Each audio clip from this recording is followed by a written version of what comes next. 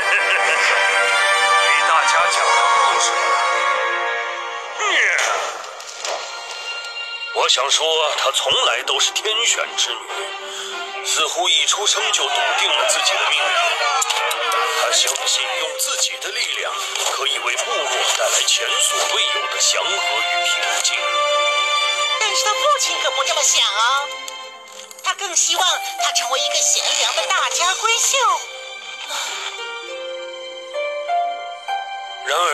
他的内心却听到另一种召唤。他想要变得更强，来保护自己的部落。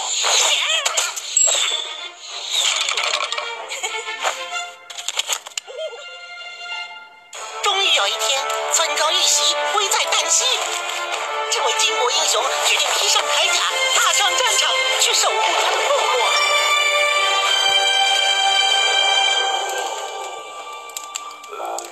你们到底说的是谁啊？他来了！